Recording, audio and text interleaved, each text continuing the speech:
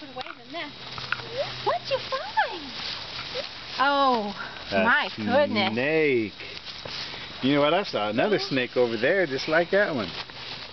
She needs to play with more boys because she doesn't seem to be. Oh, that's a cool She snake. I don't know any little boys. Because usually when she plays with kids her hmm. age, she's usually beaten up on them. go, go, go, go!